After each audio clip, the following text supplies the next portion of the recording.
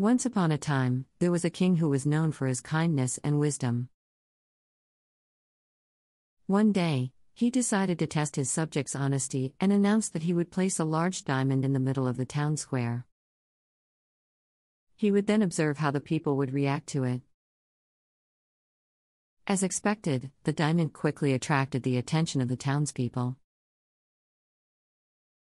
Everyone wanted to take the diamond for themselves, but no one had the courage to do so in broad daylight.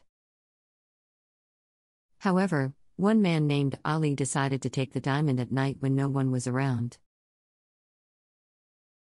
The next day, when the king saw that the diamond was missing, he called all the townspeople to the square and asked if anyone knew what had happened to it. Ali stepped forward and admitted that he had taken the diamond.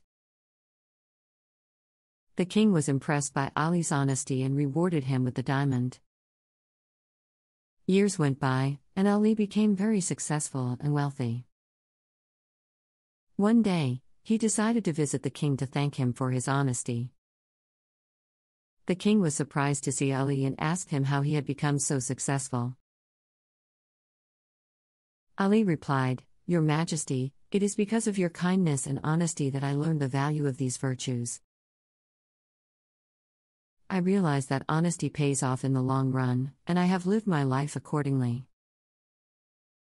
The moral of this story is that honesty is always the best policy. Even if it seems like the easy way out to lie or cheat, in the end, it will only lead to trouble and strife. Honesty and integrity may not always bring immediate rewards, but they will always pay off in the long run.